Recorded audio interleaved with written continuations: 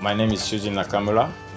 I invented green LEDs in 95, also I invented blue LEDs in 93. By combination of with phosphor and blue LEDs, we can make white LEDs. This is used for the next generation solid state lighting. We can reduce the energy consumption to one tenth.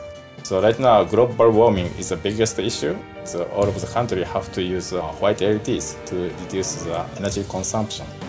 Uh, I invented blue LED in 95, now used for the uh, next generation DVD, uh, such as Blu-ray DVD and HDVD.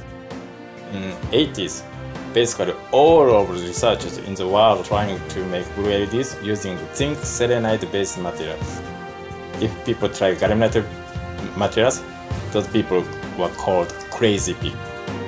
Just I worked very hard and finally I could invent the blue LEDs. So スマッシュアウトスタイルに。